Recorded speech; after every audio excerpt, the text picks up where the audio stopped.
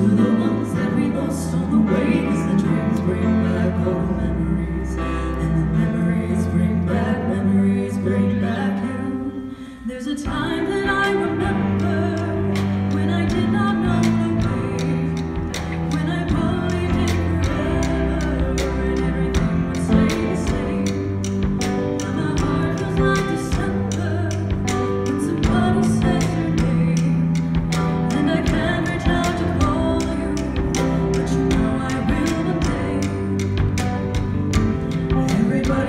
逞强